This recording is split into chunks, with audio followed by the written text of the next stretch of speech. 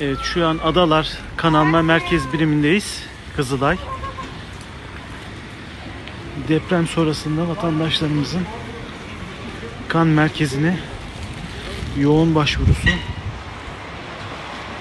Şu anda oldukça uzun bir sıra. Kan vermek için